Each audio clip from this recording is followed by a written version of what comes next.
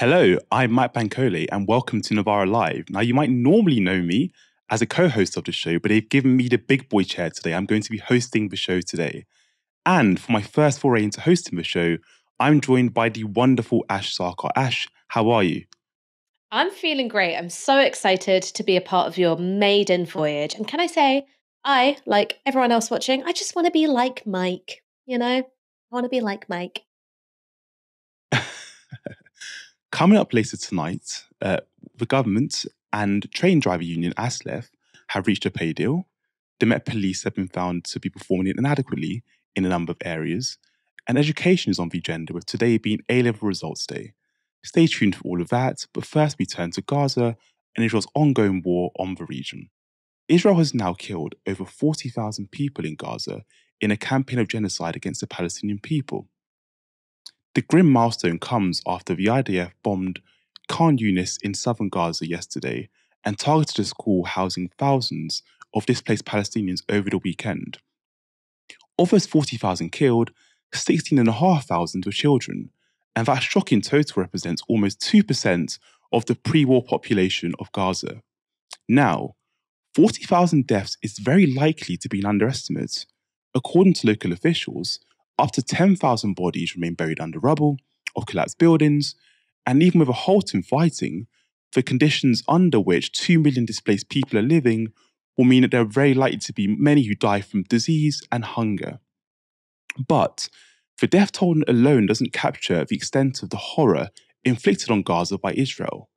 There have now been over 90,000 Palestinians wounded in the war, with many facing life changing injuries, including loss of limbs, entire families have been wiped out, and there are now more than 21,000 orphans in the enclave. Meanwhile, those who continue to live endure harassment and abuse at the hands of IDF soldiers. They're being used as human shields, denied access to medical treatment, and subjected to countless evacuation orders, even from places deemed safe. Even medical staff aren't safe from abuse. Ben Thomas, who's a Canadian doctor who volunteered in a Gaza hospital, this is what he saw. In March, when I was in Gaza, I met a patient who was a physician. He had been working in the hospital when the Israeli military initially bombarded the hospital. Then they entered the hospital, instructed all the patients and the staff to leave. My patient insisted that he needed to stay behind to care for his patients, who many of whom couldn't leave. He was then told to strip naked at gunpoint, then held at gunpoint for hours and, in fact, for two entire days. Um, he was only allowed to urinate and to defecate on the floor where he stood, beside a puddle of his own urine and feces, fearing for his life at gunpoint for two days. He wasn't allowed to access his medications, including his own insulin to treat his diabetes. Um, eventually, the Israeli military instructed him to care for his patients, uh, who remained there, some of them, uh, but they didn't allow him to dress before they did this, and they laughed because all of his patients were children. I saw him because he developed a terrible heel ulcer from standing at gunpoint for days, then migrating south to Rafah. This man was so traumatized, I, I honestly can't imagine him ever practicing medicine again. Despite all this carnage, Israel's attack on the Palestinian population continues, and even its staunchest ally, the US, has now admitted that Israel's only reason for continuing its military campaign inside Gaza is to harm civilians. Several US government officials have told the New York Times that there is no more the IDF can do in Gaza to degrade Hamas's capabilities. They also say that continuing the bombing campaign is, quote, only increasing the risk to civilians. And even Yoav Gallant, Israel's defense minister, has admitted that the only way to secure the remaining Israeli hostages is a ceasefire. That remark earned him a rebuke from Israel's Prime Minister Benjamin Netanyahu, who continues to pursue the impossible goal of total victory over Hamas.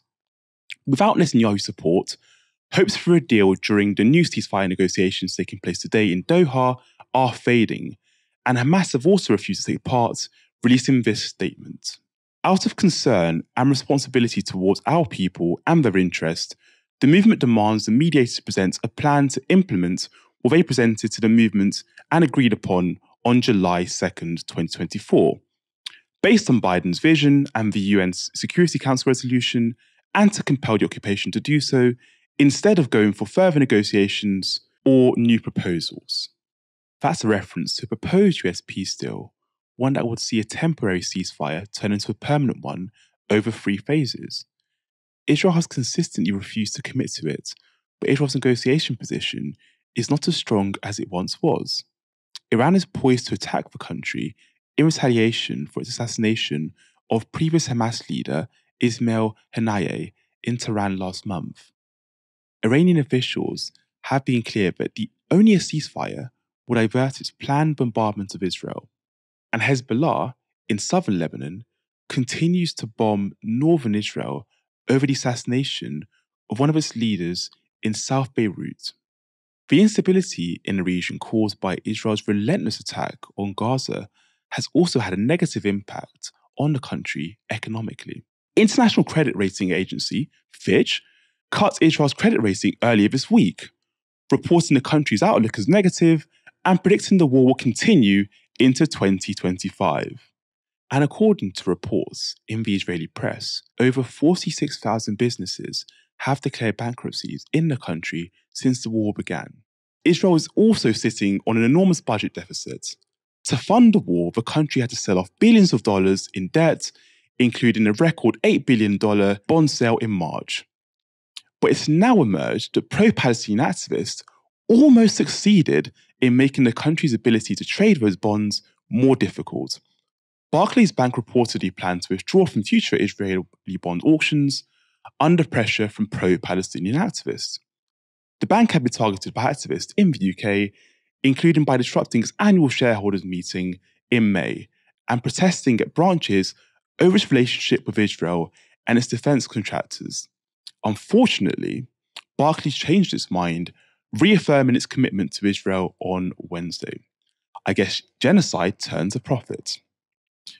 Whilst those protests may not have led to Barclays enacting change for the better, protests elsewhere have led to high profile resignation. Because, imagine this for a second. Imagine your students are protesting over Israel's war in Gaza. What would you do? Would you call the cops? That's exactly what President of Columbia University, Minouche Shafik, did. She has now stepped down following months of criticism over her handling of the student protests that took place at the New York based university. Columbia students were at the heart of campus based protests against Israel's war on Gaza, triggering a wave of encampments across the US.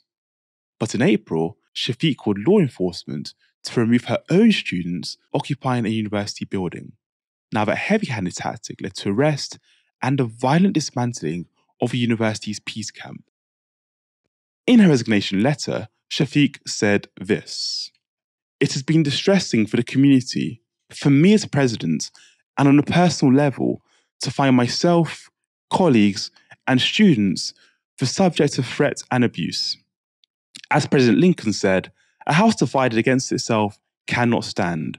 We must do all we can to resist the forces of polarization in our community. But don't feel too sorry for Shafik, who's also a baroness in the House of Lords. She's taken up a job with British Foreign Secretary David Lammy, where she will chair a review on the government's approach to international development. Now, something tells me she'll fit right into Keir Starmer's administration. Ash, what do you make of all this? So I think that Minouche Shafik is a really interesting example of someone who's been squeezed by both sides. So on the one hand, what you've got are student protesters exercising their democratic right to free speech, who under pressure from right wing pro Israel donors, Minouche Shafik called the police on, right? It had nothing to do with campus safety. It had everything to do with the fact that uh, donors who provide millions of dollars to Columbia University were threatening to to withdraw their funding. So she was like, okay, okay, okay. I'm going to crack down on the protesters.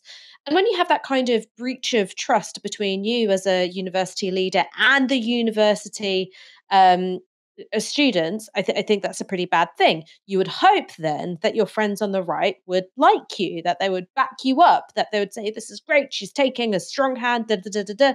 That didn't happen. This is what I mean by the fact she was being squeezed by both sides. So you've got the students who are, very understandably, deeply unhappy with the fact that their own um, university president called the police on two occasions against them.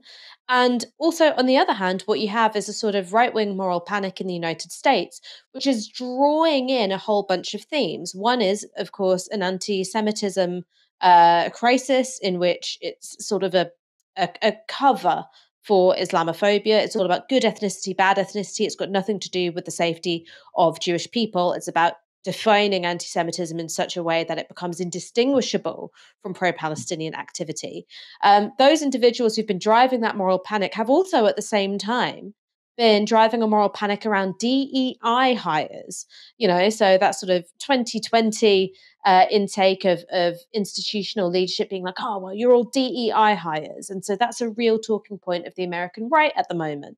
Uh, Minouche Shafik was was had both of those things coming at her at once. So, of course, she had those, you know, huge money donors saying, well, we're going to pull our funding unless you take a harder line on these pro Palestine student encampments. But she's also been accused of being a DEI hire. So I think that this is a, a, a classic example of someone who has made several strategic errors because if you're going to piss off a giant body upon whom you know on whose support you would rely on you've got to make sure that your backup is there but certainly wasn't for her absolutely ash and i think you're right about your kind of assessment of her and what i would say is her legacy will be throwing her students under the bus in that really awful congressional address that she gave.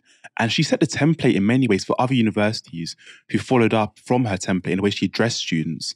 And we saw these really violent crackdowns on students who were protesting peacefully, by the way. They weren't doing anything wrong. They were protesting peacefully against Israel's bombardment of Palestinians, and they were treated with such heavy force by the police. So, yeah, I do agree with your assessment of her there. It's A level results day, meaning students around the country have been anxiously receiving their results. It's also traditionally the day that politicians congratulate students who've made their grades and reassure those who haven't, but there are lots of other options. But universities across the country are currently facing a funding crisis, with half of them facing a deficit, and 69 so far have announced course closures, job cuts, and voluntary redundancy programs going into the new academic year. That's partly due to an over reliance on international students, who are charged on average £22,000 a year to attend British universities. But that lucrative market now appears to be shrinking. On Sky News, Education Secretary Bridget Phillipson was asked how she'll deal with this problem. From here, what is the lesser evil in, in, in your eyes, or the lesser negative in, in your eyes? Letting uh, the percentage of the total student pool increase from overseas students, or putting up the tuition fees that they can charge domestic uh, students? So, first of all, it's not the case that international students are taking places that would have otherwise been available uh, to domestic students. In fact, those international students will be cross subsidising the studies of students from the UK. And we've seen a, a drop actually in terms of undergraduate admissions from international students uh, in this phase. Now, Phillipson said there that their international students aren't taking places of domestic students. And that is true. But with fewer international students choosing to come to Britain, domestic students do seem to be having better luck at getting places. UCAS figures released this morning show more students from poor backgrounds have won places at British universities as the number of applicants from China has dropped. The Times report says this In England, 22,640 18 year olds from the most disadvantaged backgrounds gained a place, the highest figure on record. In Wales, the total for this group dropped slightly to 1,200, down from last year's peak of 1,250. The same was true in Northern Ireland, with this year's total of 1,000 down from 1,010 last year. Overall, there are more than 10,000 applicants from the UK heading to university or college than last year.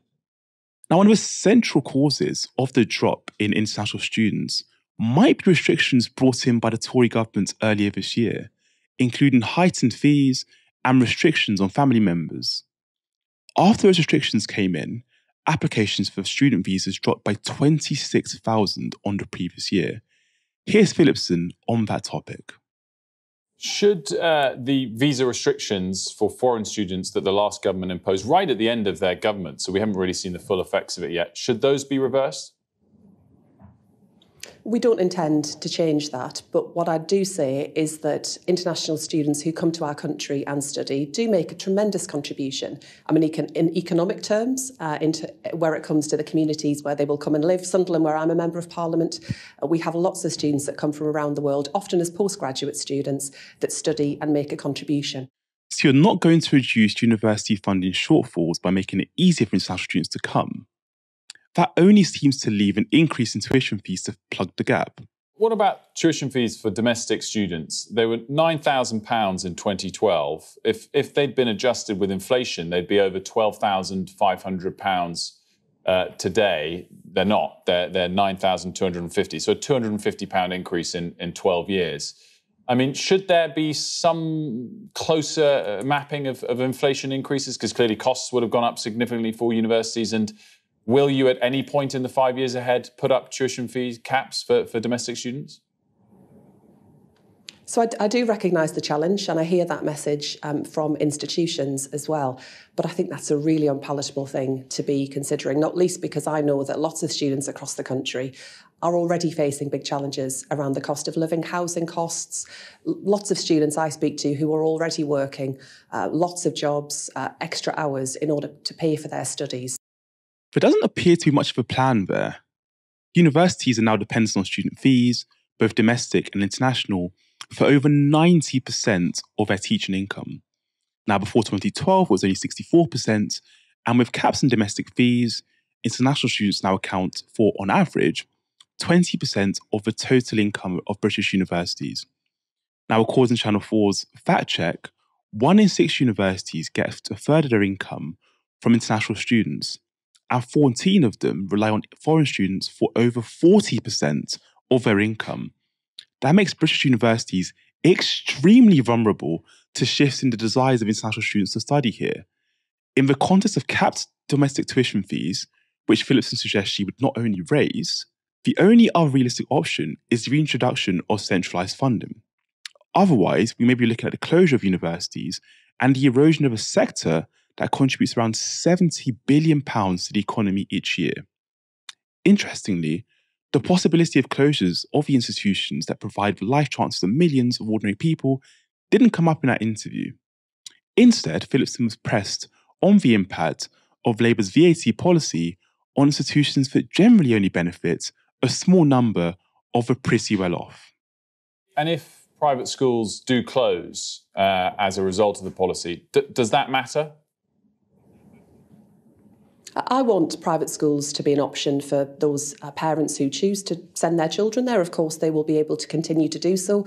I know the parents want to do what's right by their children, and that's absolutely as it should be. But I would just gently point out that 93% of children in our country go to state schools. That's where I'm determined to focus my efforts as Secretary of State to tackle some of those big gaps that we see opening up where it comes to outcomes for our young people, making sure that the background that you're from, the town that you're born, uh, doesn't determine what you can go on to achieve. And that does involve making political choices about how we raise money, how we spend money. And that's what uh, imposing VAT on private schools is all about driving up standards in our state sector where the majority of your viewers will send their children to school. Now, Ash, I'm an academic, so people must be bored of my thoughts about the state of higher education. But what do you make of Phillipson's comments today and the state of higher education funding in Britain?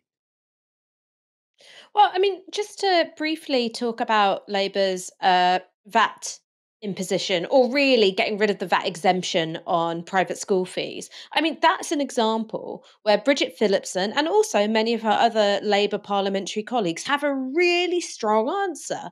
And they're making a political case, right? It's not a little technical one in the background. They're saying, look, we're making a choice and we're choosing to prioritize the schools where 93% of you know the country's kids will go to and you go great that's actually a really strong answer. I want them to go further but it's a strong answer.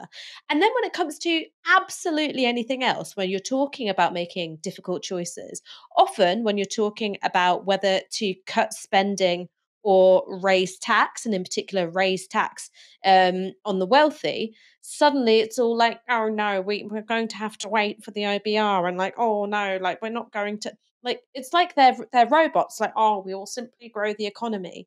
And I think it's important to point out that this leadership of the Labour Party are capable of making good political arguments when they want to. And whenever you're seeing them make really weak arguments, that is evidence of where their priorities really lie. They simply don't really think it's much of a priority to tax wealth, deal with inequality, and fund public services. Because we can see when it comes to uh, VAT on private school fees, they can actually make a case and they're happy to pick a fight. Now, going back to universities, um, I first started uni in 2010. So I think I was the last but one intake that had uh, £3,000 university fees. Now, when we look at that moment of 2010, we often talk about it as trebling tuition fees, and that being the big change to the university model uh, in England and Wales. Of course, that was a massive change, but that wasn't all there was to it, because the other thing that the government brought in was a massive change to the funding model. So they trebled tuition fees on the one hand, and then absolutely slashed government funding on the other. So you had a 40% cut on teaching budgets. You had, you know, even more cuts going, uh, being implemented in in further education as well. So it was a massive transformation of the funding model. And another big transformation was viewing students not as citizens exercising their right to access education, but as customers making a choice in a market. Now, that's got a huge amount of relevance when you're looking at the problems facing higher education today, because yes, you're seeing a massive problem of funding shortfall, right? Just a huge, huge problem of funding shortfall because those tuition fees basically stayed the same. Uh, the costs of running a, uni- a university kept going up, and you also don't have government funding coming in to take its place. So obviously you have an escalating crisis, a deepening crisis, rather than a sustainable funding model. The second thing that students often talk about is overcrowding. So they'll talk about having a, a, lack of contact time or a lack of quality contact time, uh, classes getting bigger, university facilities uh, you know, having having more demand on them. Why? That's because in order to make up for the funding shortfall, universities just have to cram more students in. And because international students pay higher fees than domestic students, who's more valuable? Well, it's international students. And the third thing is when you look at education as a market and students as customers, one of the things that gets completely chucked out the window is there being an intrinsic value to research, to academia, to teaching, and to the preservation of knowledge. So you've got many smaller departments who do really specialized work closing down because they're undersubscribed. You've got other departments really struggling to keep up with the demands of their students because they're oversubscribed. And that's because not everything should be run as a market markets are really, really bad for deciding the distribution of resources when what you're looking at is something which is of the public good and the social good rather than looking at a commodity. And I think that's exactly what's happened in higher education. Now, a brave Labour government could say, look, what we're going to do is we're going to completely transform this failing system. And it is a failing system. Students know it, lecturers know it, the parents of students know it, employers know it, and university, you know, provosts and deans and leaders all know it too. It would actually be quite a popular thing. But I think the real reason why they don't want to do it is because they don't want to look at bolstering uh, government funding to universities uh, by imposing or, or, or hiking tax on on certain demographics, i.e., the wealthy. They don't want to have that fight. I think you're absolutely right, Ash. And I think we know where Labour's priorities on this issue lie, partly because in the lead up to the election, it wasn't mentioned at all by the party. In many ways, it was this issue they kind of sidestepped. And as someone who's in the sector, obviously I have a bias towards this issue and I care deeply about it. But we are talking about these really important cultural institutions that are, you know, help raise millions of people in terms of providing a platform for future jobs. We're talking about some of these institutions closing completely. So, so far, the talk is about maybe departments closing, maybe some courses closing. It's going to get worse over time if this funding model doesn't change. Because what's happened is the Tories and kind of the last 14 years or so, the model of universities is we're going to cut funding by the government and we're going to rely on tuition fees. Now, you have to pick are you going to raise tuition are you going to raise tuition fees in line with inflation every single year?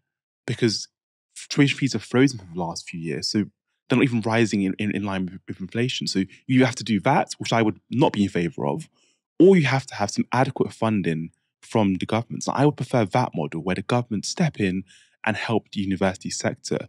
Because people don't realize, as an academic, what's happened with this new model is thousands of academic staff are being exploited, right? Thousands of academic staff are in precarious work, six month contracts, really short term contracts. Now, the problem that has and, and the effect that has on those academics is this constant fear of losing your job, this constant fear of what's next, what's next. And that feeling of being a precarious member of staff can't be conducive to producing high quality teaching, right? Because you're constantly worried about the future. So I do think this is an issue that Labour has sidestepped, you know, so far. But as we hear more about courses closing and potentially universities closing, it's going to be an issue we're going to need to look at and really deal with squarely because, again, it wouldn't be a good look for Labour if universities across the country are closing down, right? Because these are institutions that are very, very important to a lot of people. The Metropolitan Police is failing across almost all areas, according to a new damning report.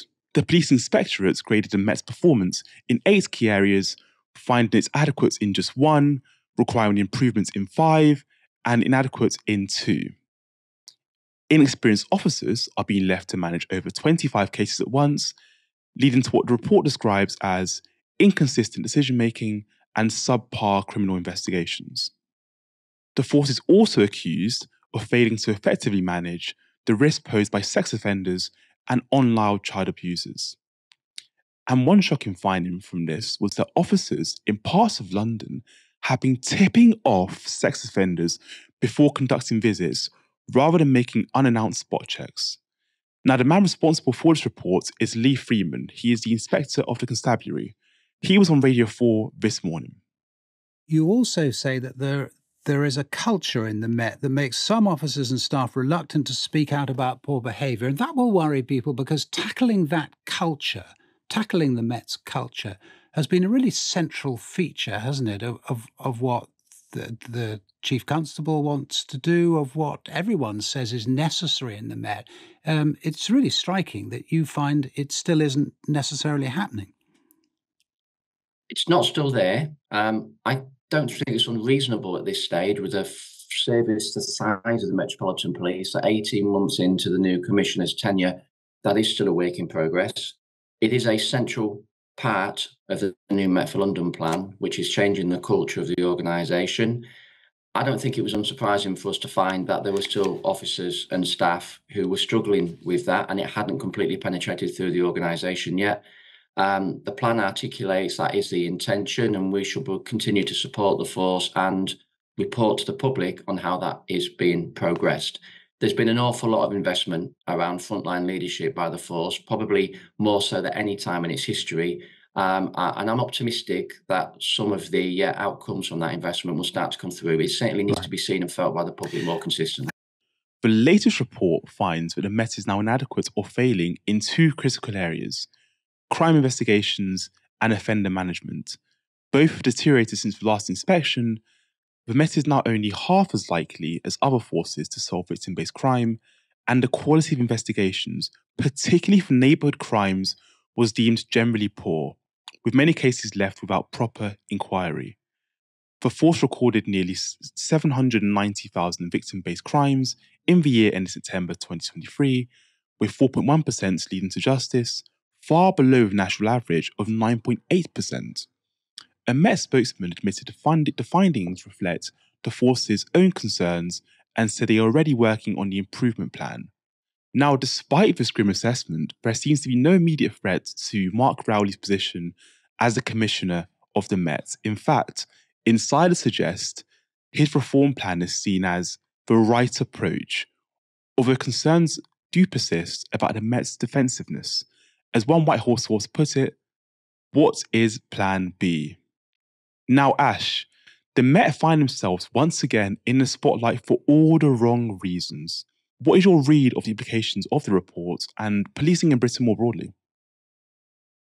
Yeah, I mean, you're totally right. The Met really can't get a good news day because if it isn't a police unit literally riddled with sex offenders, then it's a report coming out saying that they're basically failing on every single metric. Now, I think some of the reasons why that's happening aren't solely to do with the police.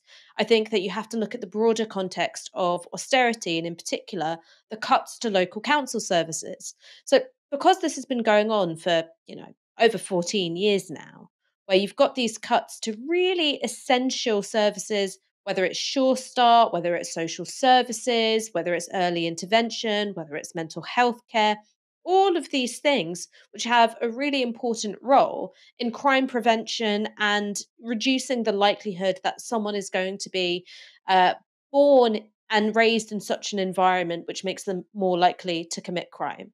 So you cut all of those things. What you do is is you create a, a time bomb, right? You you you make it more likely that people are going to commit violent crime, and you also create a generation of people who are more likely to commit certain kinds of crime, um, simply because they don't have that support in place. So that's one thing. The second thing is that as those services um, got cut, you do see whether it's the police or in fact teachers in schools they sort of become a, a, public service provider of last resort so all of these support services get cut and then it's up to police or teachers to sort of deal with with what's left. Um, and that's why you see teachers saying things like well i have to bring in food because my kids are coming in hungry or i have to wash the clothes of kids whose parents can't afford to do that because they're essentially being a public service provider of, of last resort. When it comes to the police that means that all of those problems which are to do with lack of adequate mental health care uh, lack of adequate rehabilitation uh, lack of adequate substance abuse support, then it all gets treated as a criminal justice issue. So you've got greater demands on on their capacity.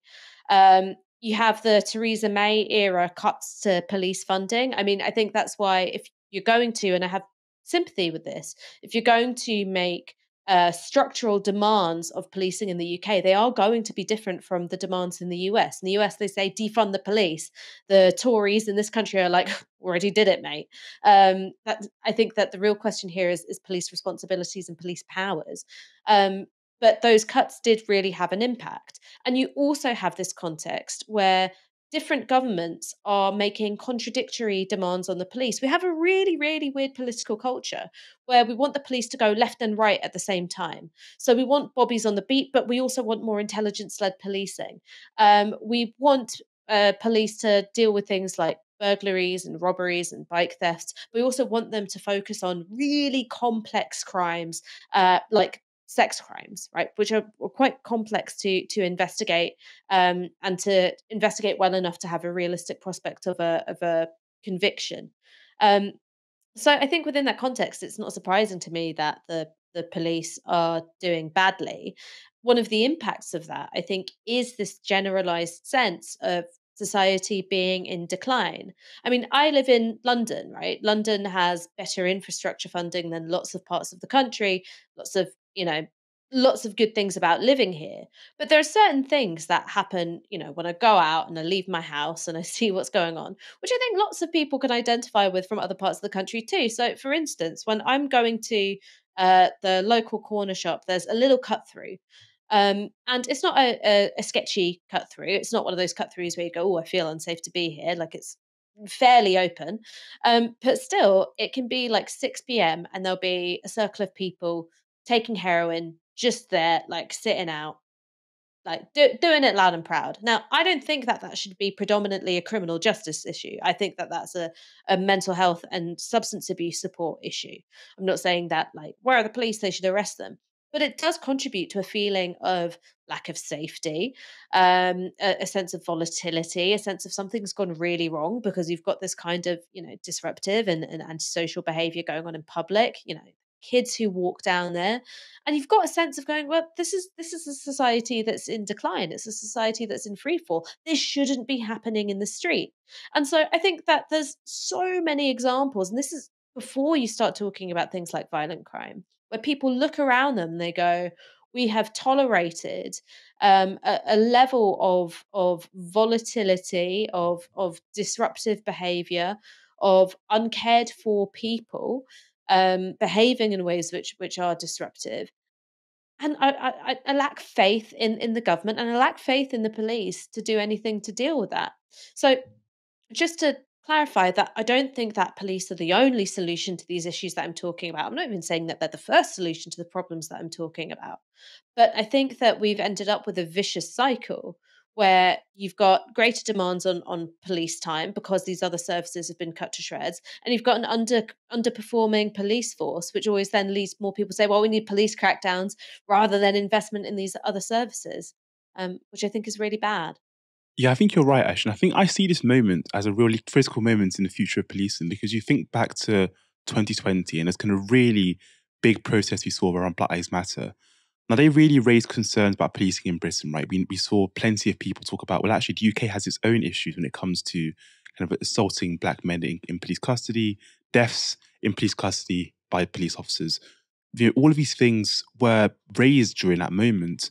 And then we had Sarah Everard soon after that. Again, concerns about you know violence against women. And I think what we what happened what's happening now is there is really widespread distrust in the police for a number of reasons. Right now, there are some people who will do the whole oh, there's two tier policing against you know white people. That's quite clearly obviously not true. But there are genuine issues with policing in, in this country. And I do think this is a really critical moment because this trust is so widespread for so many different reasons that it needs to be addressed. Because, like you said, I think one of the issues with policing isn't that we need more than one on the street. It's actually about we need to reassess the role of police officers. So should they be the ones responding to a group of people taking heroin on the streets? Probably not. I think that's, a, again, as you mentioned, a health issue, and we need some kind of other mechanism to intervene in that situation. So I do think in many ways, the debate on policing isn't, you know, it's different from the US context, right? So we're not talking about defund the police. What we're talking about here is we need to rethink the role of the police. We need to not stretch them in ways that mean their role becomes like this kind of dual role of we're going to need you to deal with petty crime and also it's really important big crimes. Does actually mean maybe we need to shrink the responsibility of police in some ways, have a more focused approach so they can actually be more competent in addressing some issues. Because I know people in London, for example, when it comes to things like bike theft or phone theft, you'd often hear friends complain and say, look, nothing's happening. You know, my bike was stolen, nothing's happened. Now that can't be a way society's going to run. And I'm not one of those like law and order people to throw them all in prison kind of person, but there does need to be some retribution or something that happens when these crimes do occur. And I think for many people, the police are just seen as very, very incompetent. So that kind of image of the police as incompetent can't be a good thing. And I think it's something that does need to change. Train Drivers Union, ASLEF, and the government have struck a deal that could end more than two years of train strikes.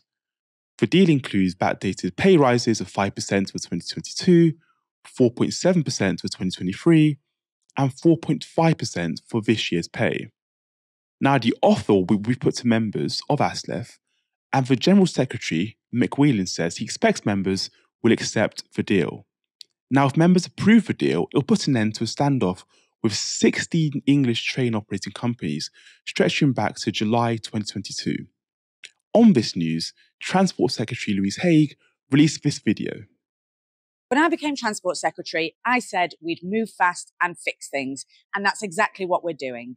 I'm delighted that we have put forward a three year pay deal so that drivers across our railways can vote on it and hopefully bring an end to over two years of damaging strikes that have cost the taxpayer more than £800 million in lost revenue and hurt the economy even more.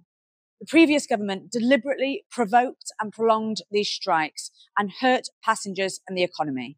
In direct contrast, this Labour government will always put passengers first. Haigh there putting blame on the Tories by saying the previous government deliberately provoked and prolonged the strikes.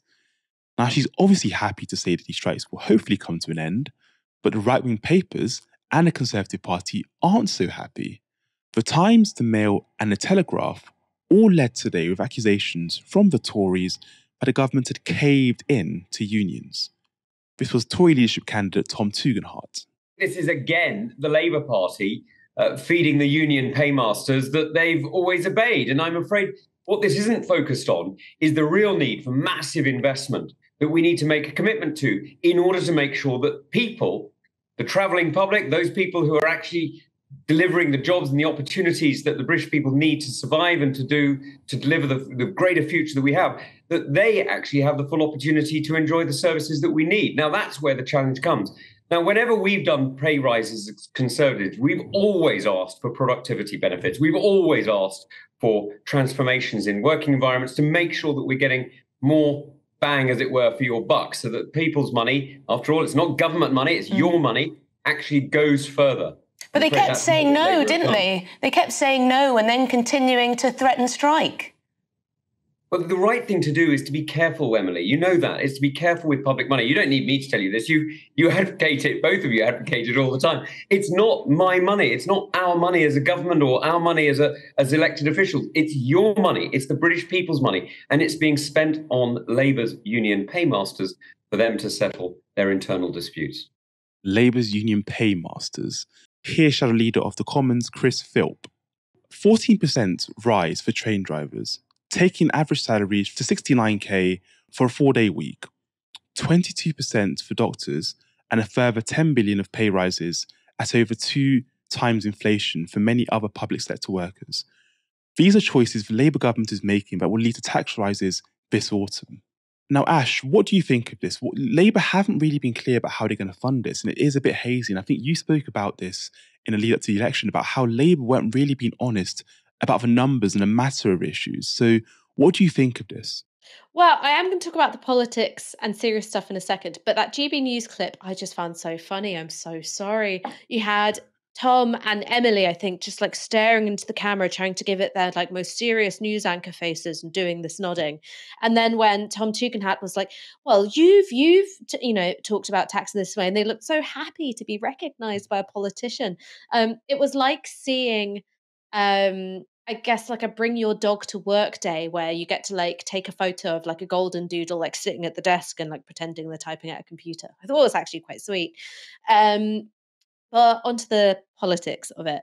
Um, this was exactly what I said in the run up to the election, which is having gone through the Labour manifesto with a fine tooth comb, they had fully costed various things, but there were things that they said that they were going to do, like resolve pay disputes in various sectors, deal with staff retention in the NHS and in education.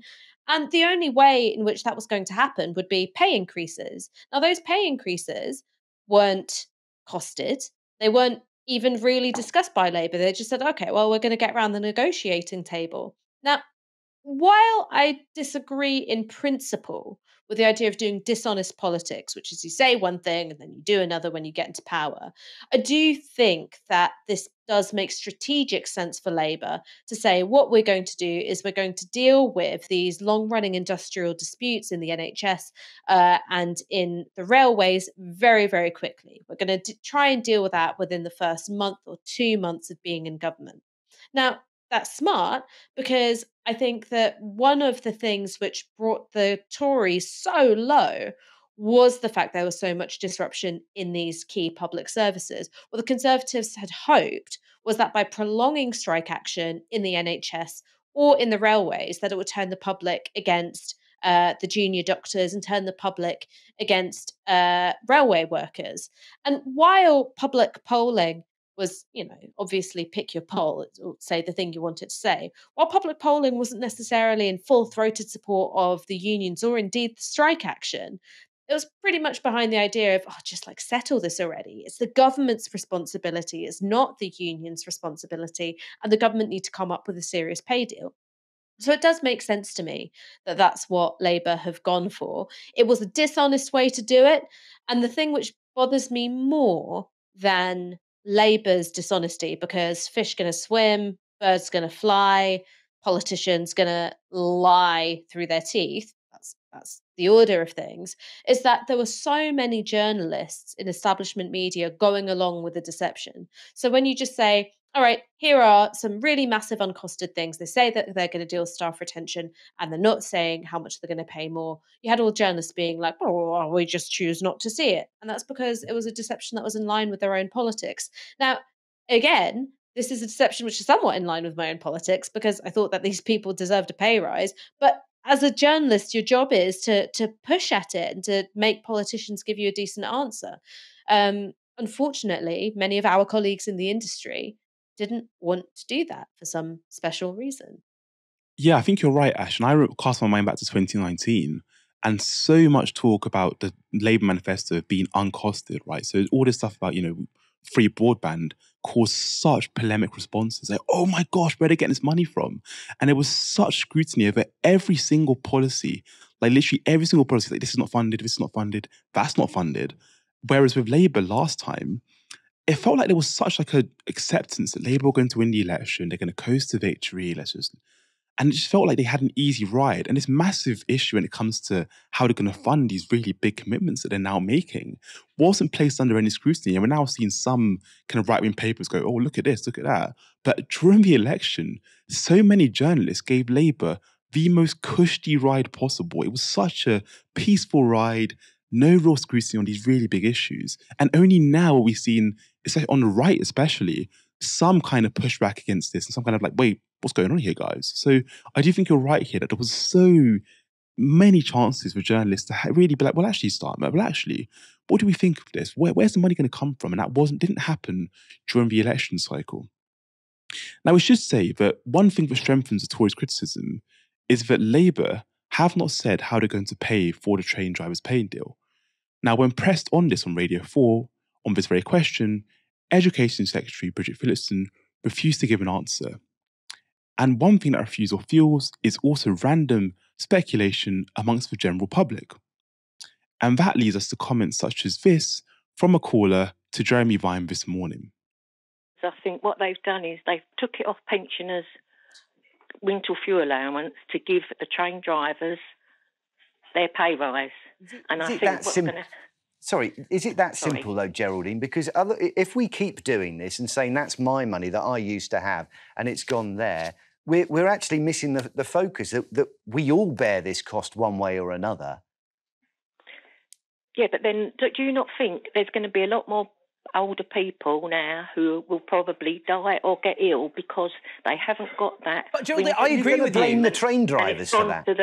Ger- and it's gone to the train drivers. Geraldine, this is divide and rule. This is uh, turning people who deserve something against each other. You're right. I oppose Labour attacking the winter fuel payments, which, by the way, includes poorer pensioners who are eligible for pension credit uh, who don't receive it. They're getting their winter fuel payments taken away from them, being driven into poverty. I think that's scandalous, as well as many other struggling pensioners. But the fact is, this is a rich country. We should be able to tax richer people far more than we do and give pensioners what they deserve. And I agree with you on pensioners completely, as well as ensure that frontline staff who deliver services we all depend on. And if you don't use trains, we depend on it because of the economy. Uh, the, the, salary that they deserve. Let's not play, turn people against each other. Pensioners versus train drivers. It should be the vast majority versus people who don't pay their taxes often at the top or aren't paying enough tax. So we have Owen Jones there responding to that kind of caller's conspiratorial take. And Ash, I think Labour governments in particular are vulnerable to accusations of where's the money coming from. So what do you think Labour needs to do to kind of maybe sway those fears and maybe stop maybe some conspiratorial takes and some some kind of wild takes from members of the general public? Well, I think they have to say where the money's coming from. And there are various ways in which they could do that. Um, they could say that they're actually going to change some of their own fiscal rules, that they're going to uh, pay down the national debt um, at a different rate. They could um, fiddle with some of the Bank of England rules and go, oh my God, look, I just found 20 billion pounds. I mean, like, you know, they can do that.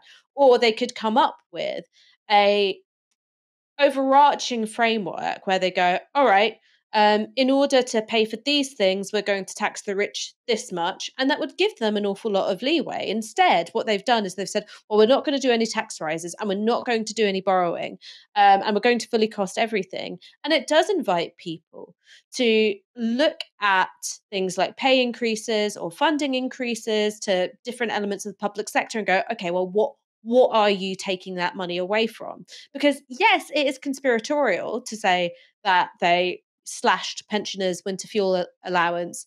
Um, and you know they've transferred that money into the pockets of of ASLEF uh, train drivers, but that's the internal logic of how Labour are approaching budgeting anyway. So you kind of can't blame people for for coming to that conclusion. I think that the last thing that I would say about it though is that during the most uh, during the recent uh, racist riots up and down the country, one of the things that did come up amongst people who were, um, you know, protesting outside uh, hotels where asylum seekers were were being held, um, was that they were saying, "Well, we've just had our uh, winter fuel allowance taken away, and yet you're you're putting up these guys in in hotels." Now, again, I think that that's wrong. I think it's wrong to protest those hotels. Um, I, I, think that it's fine to oppose the policy of dispersal, but this was actually about intimidation and, and, and a feeling of, of peril for people who'd gone through unspeakable things already. Um, but that that sort of approach to messaging your spending, while it's going to get a lot of people who work for, you know, the Economist or for the Observer going, ho, ho, ho, ho, ho, sensible politics. The way in which it's received by people is very much, as Owen said, divide and rule, because it looks at every single funding decision as a competition. So I think that this is something which in the in the medium to long term could hurt Labour. Yeah, I definitely agree with you, Ash. And I think especially as they're going to have to make several more funding commitments, there needs to be a clarity over what's going on? You know, where's this money coming from? Right, that's it. Let's wrap up here.